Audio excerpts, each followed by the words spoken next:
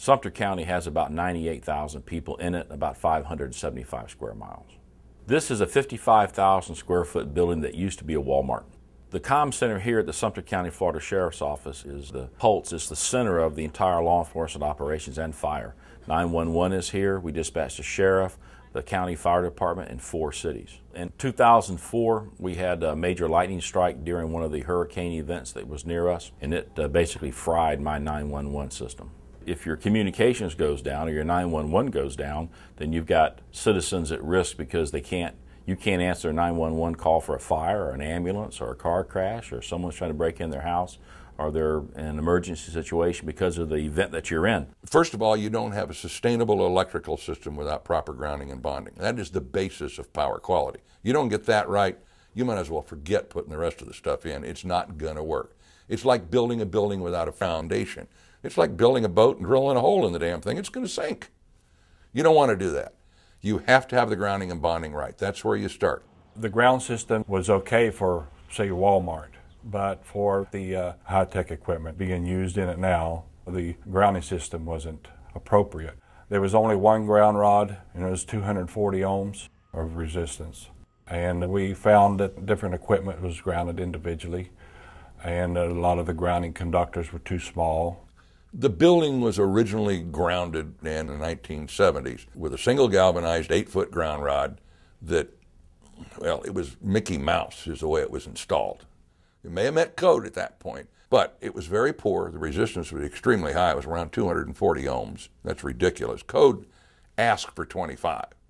IEEE says 5. We say less than 5. We would have loved to have put a big counterpoise around the facility, but unfortunately, it's paved or concrete. You can't do that.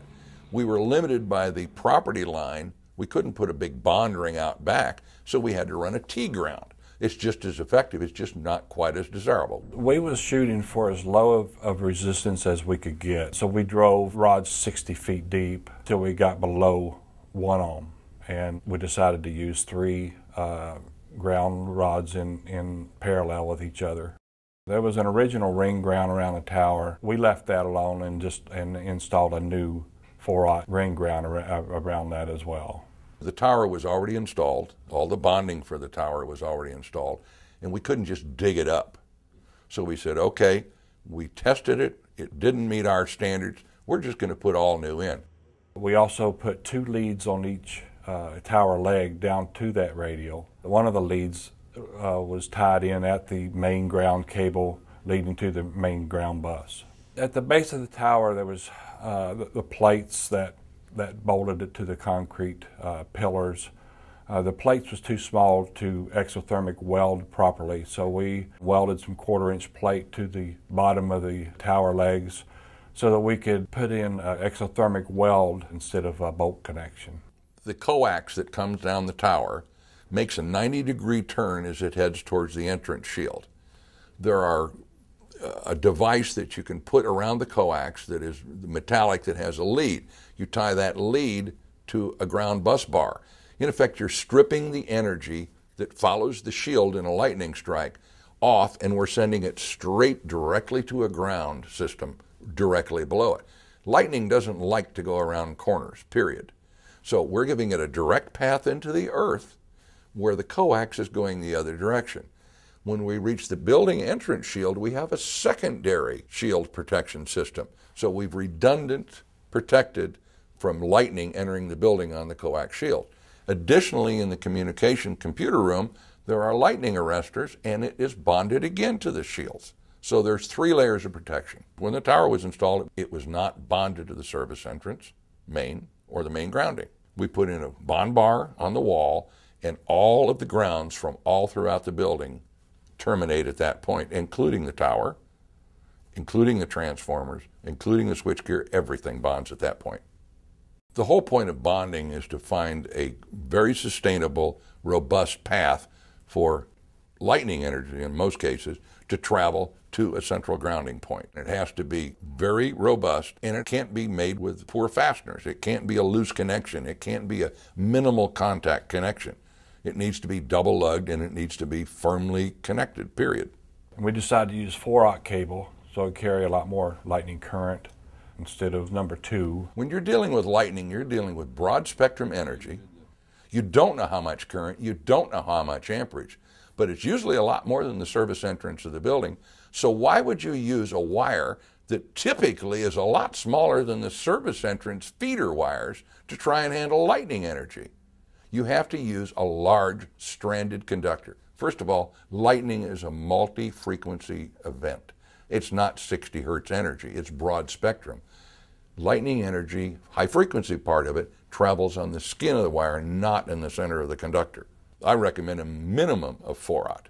In the electrical room are 480 volt panels that are fed from the upstairs main distribution panels.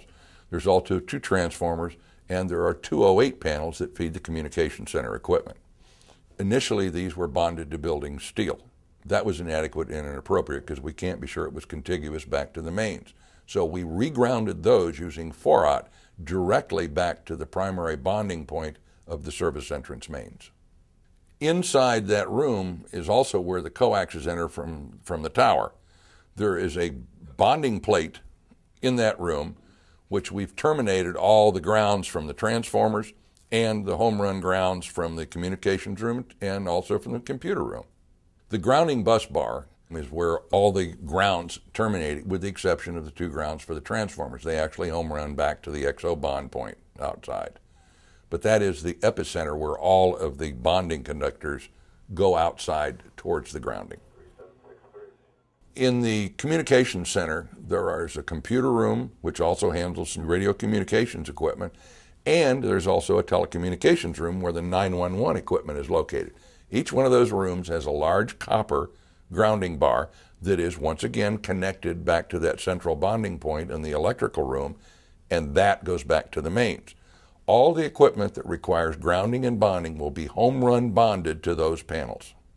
The surge protection started at the main panels outside, the main disconnects, and the additional layers were put on the main panel boards and all distribution and sub panels throughout the building. At the service entrance, we have two overhead fed main disconnects. The XO bonds are made at that point, and we installed two surge suppressors, one for each main, with their own disconnect, so they're serviceable without turning the power off to the building. Inside, on the two main panel boards, we added two 100 KA TG 100s with disconnects, which is a copy of what we did on the outside. So we have 200 KA of protection to that point. After that point, we have 100 Ka single units on each of the distribution panels that feed the panels for the communications room and also all the other services of the building. The intention was to take anything that is critical and get it off of a panel that may have a load that could be negative for it. In other words, air conditioning systems, outside loads. We don't want anything on those panels that could have a negative effect on that communications room. Keep in mind, Surge protectors protect from line to neutral and also line to ground. Well, if you're diverting a surge event to ground and the neutral and ground are bonded, you could end up giving your equipment electrical enema if you don't have a good ground. This is a communication center for the entire sheriff's department of this county. Therefore, it is critical. Therefore, it has to have redundancy. Therefore, it has two generators and two transfer switches. They were not bonded properly when they were originally installed. The bonding on the one generator was inappropriate. It was basically a sheet metal screw, a ferrous sheet metal screw, to a galvanized clamp to a painted piece of steel. You can't get much worse a connection than that.